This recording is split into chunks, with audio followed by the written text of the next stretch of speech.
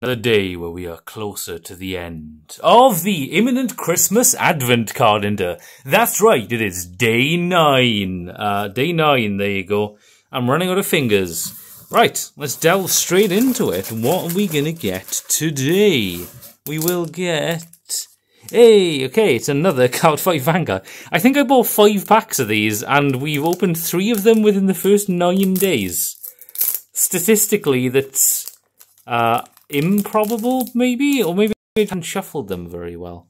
Uh, I don't know. Anyway, let's begin with Coaxing Diva Meline. There's a cat. Well, actually, she's not a cat girl. She's a girl kind of um, bandana things. We've got Second Snake's Opinion Slana. There's a lot of S's. Or is there a snake? we got Soul Stirring Diva Moneta cute. We've got like a Utopia Nor Nor Norti.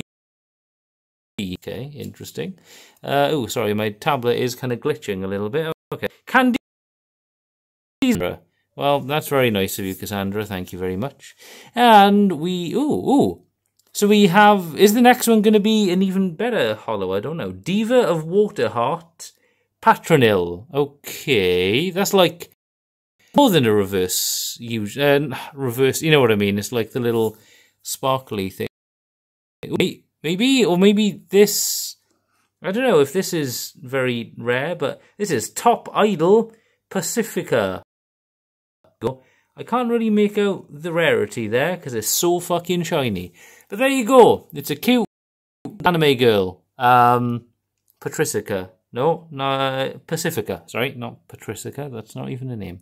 Oh, Pacifica is slightly less of a name too.